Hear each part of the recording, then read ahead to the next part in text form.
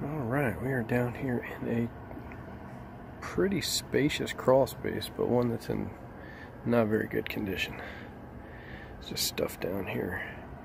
Coil cleaner, old ductboard, insulation, and uh, I'm not a expert, but I am going to say that they got a dryer vent leaking down here.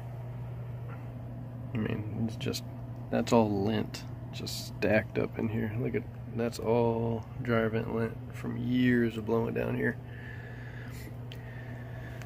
See, it's all over the wiring.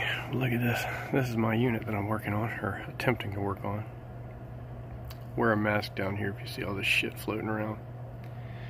But I believe it's a York, like a 1995. With this is the service side of the unit, so you got a massive sub panel sitting right in front of the blower. Basically butted up against the unit. Got another 2 by coming down. Butted up against the unit. So how in the hell you'd ever work on that thing is beyond me.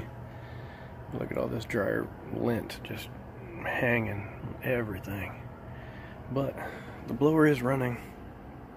You can see that uh, that metal bracket's about to give up right there.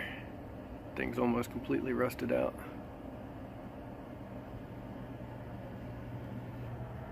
Check this out. Got a plumbing pipe.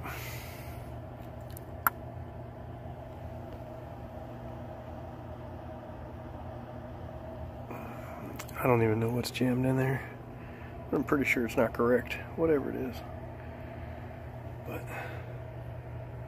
and this is a uh, this is a great A mess right here, son.